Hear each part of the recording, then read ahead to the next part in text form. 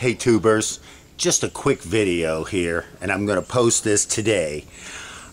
I was coming out of the Dunkin' Donuts and uh, laying on the ground was this piece of paper and it looked like, you know, some kind of note or list, whatever.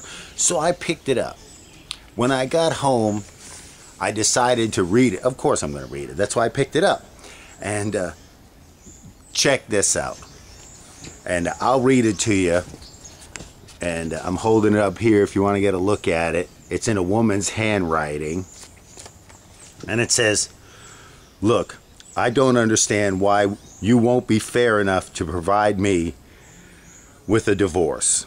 Everybody wants a divorce. And then it goes on and says, as opposed to a Kahlua. I guess somebody's been drinking. I shouldn't have to lose out on my dowry be in debt with furniture, and then have to struggle to pay rent with five children. What the hell was this woman thinking with five children? Jesus!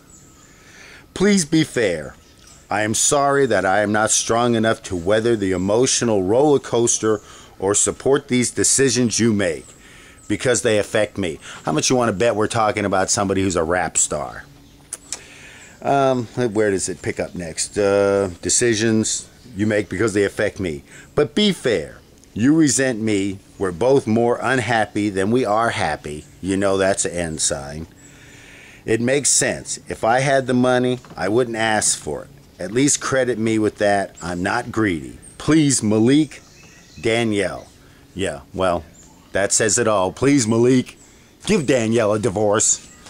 Here's her little note crying for help, and she dropped it outside the Dunkin' Donuts and uh, you know, let the kid go. And then Danielle, when you get that divorce, you whack his ass for child support. That'll teach him to have five babies. Tubers, I'm out. I got to go to work.